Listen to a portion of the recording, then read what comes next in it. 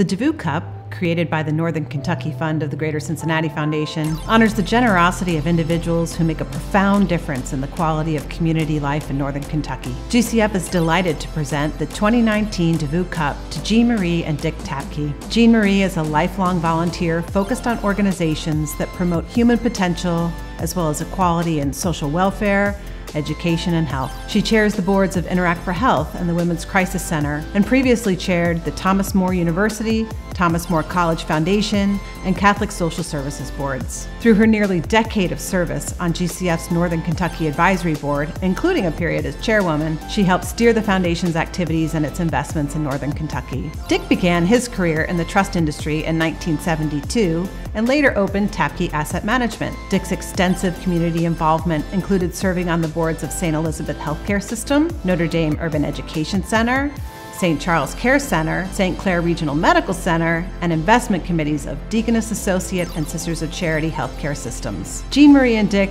thank you for your support of our community and congratulations on your recognition this evening. I think it's very humbling, truly humbling, to be honored because it seems different to be recognized for work that we so enjoyed doing and that we got so much from.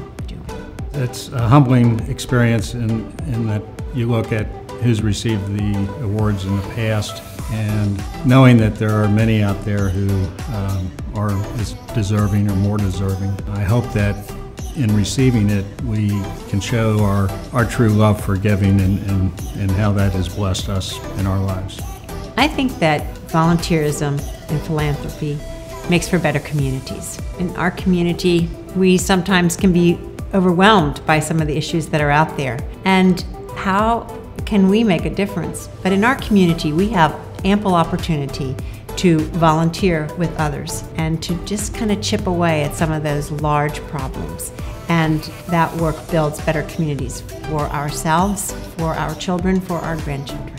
When I think of impact through volunteerism, I think of the ripple effect. I think that that ripple effect in our community will see larger and larger change, not directly related to us, but just through the community efforts as we try to make Northern Kentucky the best place to live.